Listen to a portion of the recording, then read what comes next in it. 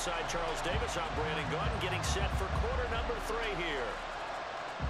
A one-touchdown ball game, 14-7 our scores. We get back at it on EA Sports. They'll elect to bring it out here from the end zone. The lane opens here. He's past the 30. It's a foot race. And they are not going to catch him. He's in. Touchdown, Washington.